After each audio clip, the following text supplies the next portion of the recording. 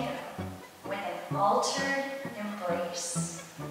It allows us to experience connection with different points and methods of contact. It also allows one or both partners to turn their bodies fully. And it frees our arms for expression.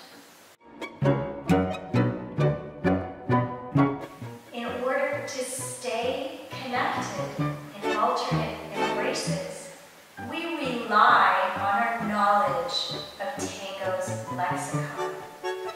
Particularly when we're in an alternate embrace, we stay on one of Tango's pathways or interactions.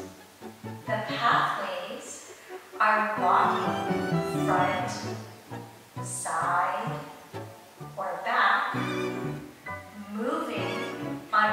Three circles.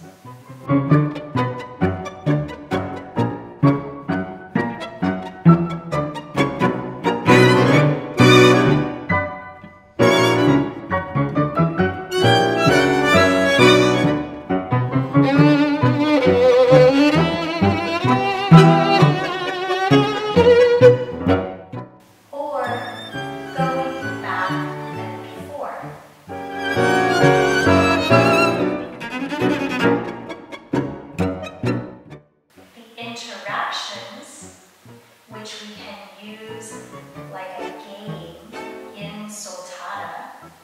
Our saccada da